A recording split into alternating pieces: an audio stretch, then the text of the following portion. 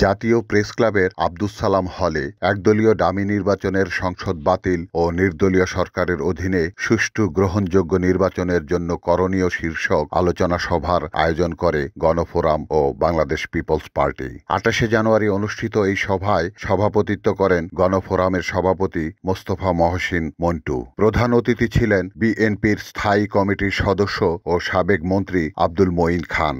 সভায় গণসংহতি গণ অধিকার পরিষদ, গণফোরাম ও বাংলাদেশ পিপলস পার্টির নেতৃবৃন্দ আন্দোলনের ত্রুটি বিচ্যুতি, সাফল্য, সমন্বয় ও গণসম্পৃক্ততায় করণীয় নিয়ে চুলচেরা আলোচনা করেন। আলোচনায় গ্যাস সংকট, দ্রব্যমূল্যের ঊর্ধ্বগতি, অর্থ পাচার, ঋণ খেলাপি ও দুঃশাসনের কথাও উঠে আসে।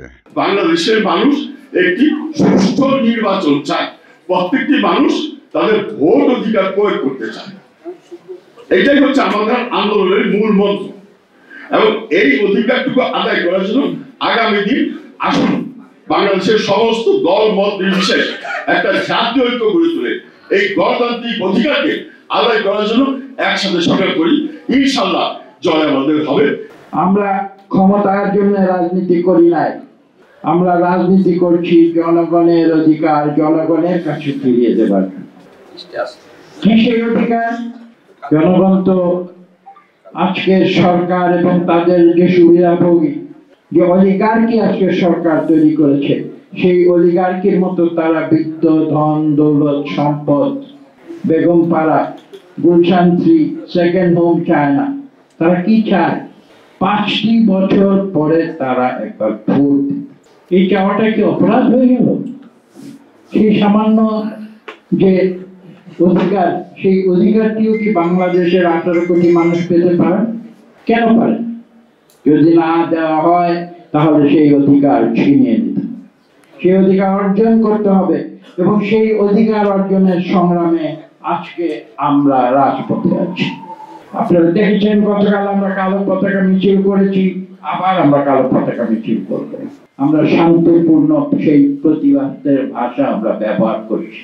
এবং এই ভাষা আমরা ব্যবহার করতেই থাকব। যতক্ষণ পর্যন্ত না নৈতিকভাবে এই সরকার সম্পূর্ণ পর্যদুস্ত এবং পরাজিত হয়ে বিদায় না নেয়, ততক্ষণ পর্যন্ত আমাদের এই শান্তিপূর্ণ আন্দোলন চলতেই থাকবে তিন তারিখ ঠিক করে আন্দোলন হয় না। সময় মতো আন্দোলন হবে। আর সমালোচনা করছেন, পত্রিকা লিখছেন, বিএনপি ব্যর্থ হয়েছে, বিরোধীরা ব্যর্থ হয়েছে, আমরা ব্যর্থ হইনি আমাদের সাকসেসের অনেকগুলো কৌশল থেকে, পড়াশোনার ধাপ থেকে, আমরা একটা আন্দোলনের কিছু কৌশলে মিস্টেক করেছি।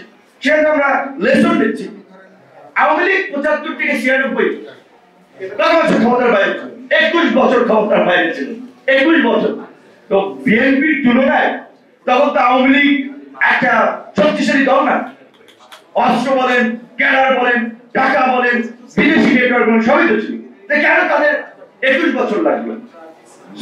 দায়িত্ব করেন কারও করে সমালোচনা করার দরকার হ্যাঁ আমাদের কিছু উইকনেস আছে, সেই আলোচনা করব।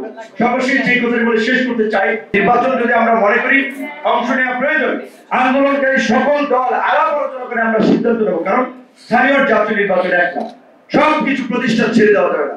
আর যদি মনে করি নির্বাচন বর্জন করব, তাহলে সবাই মিলে বর্জন করব, সেটা আলাপ আলোচনার মধ্যে দিয়ে সিদ্ধান্ত হবে। কিন্তু একসাথে বলতে চাচ্ছিলাম এই স্থানীয় নির্বাচন যখন চালু করে দলীয় তখনই আমরা বলেছিলাম গ্রাম পর্যায় পর্যন্ত সহিংসতাকে ছড়িয়ে দেওয়ার জন্য বাকশালী ব্যবস্থাকে ছড়িয়ে দেওয়ার জন্য স্থানীয় নির্বাচন দলীয় প্রতীকে করা হচ্ছে।